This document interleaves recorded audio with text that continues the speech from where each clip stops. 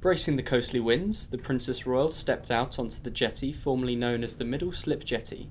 She's here to meet naval base officials and officially unveil the plaque, formally naming the jetty in her name. The jetty is here and it's ready. Well done.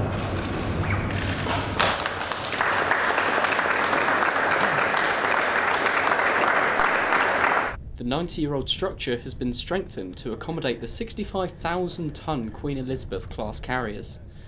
It's part of a £100 million upgrade to the harbour that has seen dredging of the approach channel over the past 18 months to make room for the new ships that will stretch the entire length. So this is very important for Portsmouth Naval Base because the life of these ships is some 50 years. So clearly the jetties that need to support them need to be of that sort of length of age, uh, of durability as well. So we, we've built these uh, structures to last. Uh, we certainly intend that they should be there for the lifetime of the, uh, of the carriers themselves. But actually we're really looking at infrastructure which will take us through till the end of this, this century. Well, it's a big day in the project. Uh, it was great to have the Princess Royal uh, to, to the naval base today to, to name her jetty. Uh, the ships, as we know, uh, Queen Elizabeth and Prince of Wales.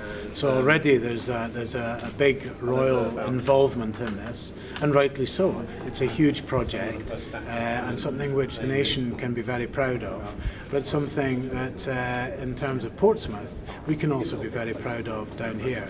The Princess Royal has, uh, has been the Commodore uh, in Chief at uh, Portsmouth Naval Base for a long time and has taken a keen interest in, in our work here. So it's really nice to have her down to, to name the jetty today.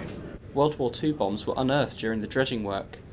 The bomb disposal experts met the Princess on her visit. She was also shown exhibits in Boathouse 4, a family attraction within the historic dockyard.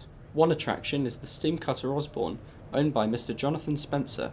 Mr. Spencer enjoyed the Princess Royal's visit. She was very interested in actually being a, being a sailor herself. She, she's um, uh, she asked me lots of technical questions, so it was very good. The vessel was built in 1896 and served Queen Victoria and Albert II on the Alexandra, the Queen's smaller yacht that took them from Portsmouth Harbour Station to Osborne House on the Isle of Wight. Chris Jones for That's Solent.